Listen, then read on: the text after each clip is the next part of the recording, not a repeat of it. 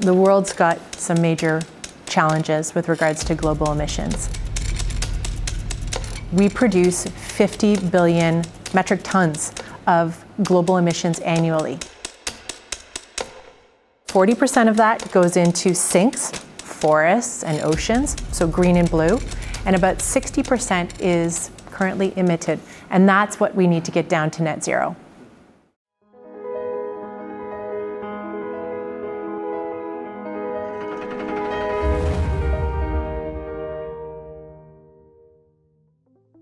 CIBC's sole purpose is to make our clients' ambitions a reality. We've been in business since 1867. We've transformed ourselves throughout the decades and throughout the last century and a half, and our goal is to continue to do that into the future, particularly when it comes to sustainable financing activities and a sustainable future. I think partnerships are crucial. Number one, because no one is going to achieve these things solo. No one is going to achieve these things in isolation. It really is about uh, sharing information. It is about evolving as data becomes more available, as information becomes more sophisticated, more advanced. We can all move forward together. CIBC is engaged in a number of partnerships. We have uh, partnerships with the Institute for Sustainable Finance. We are part of the Sustainable Finance Action Council. We are also members of Rocky Mountain Center for Climate Aligned Finance. CIBC's climate transition strategy involves, of course, a 2050 target for achieving net zero greenhouse gas emissions. And that's both with respect to our operational uh, activities and our financing activities. Banks and our clients focus on commercially viable solutions. The economics of change, the economics of sustainability need to work. And they do work when they're constructed in the right way.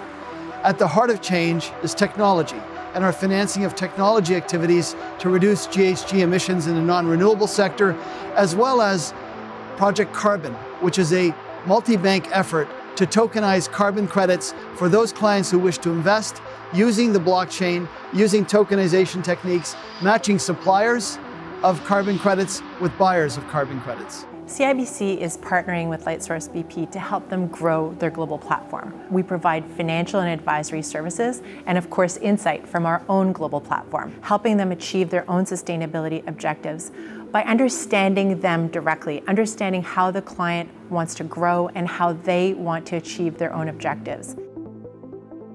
I suppose in its very simplest form, our ambition is to, to put as much solar into the world as possible. We recently have launched an initiative to increase our aspirations to do 25 gigawatts by uh, the end of 2025. Um, and I think that's born out of the fact that, you know, we have built an, an, a huge amount of momentum over the last number of years and we're looking to fulfill um, the potential that that momentum um, allows us. Since we've done the deal with BP, we've moved from five countries to now 15 countries. And I'm not saying that we're going to sit back in 15 countries, we're going to continue to add to the number of countries in order that we can continue to deliver more solar to our world. CIBC has been hugely supportive in us being able to deliver our sustainable journey. And I think that it is really essential that those larger banks, those larger financial institutions take the lead in the way that CIBC and others have done.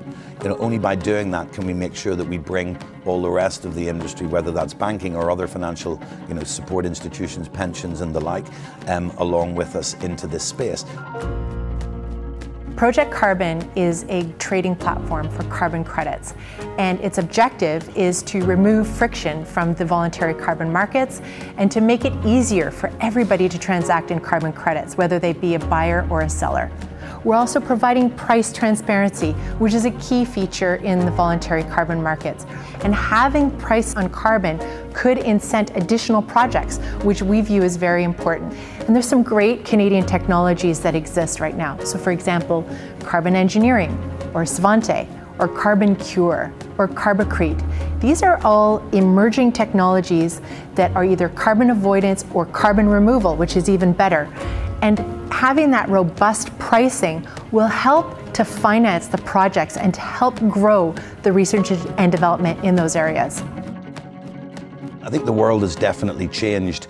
Um, I think you know the business as usual as set 10 years ago is no longer going to do it. We need to redefine what business as usual means. We need to shift from the concept of gigawatts to terawatts. We need to shift from talking in terms of millions of investment to billions of investment.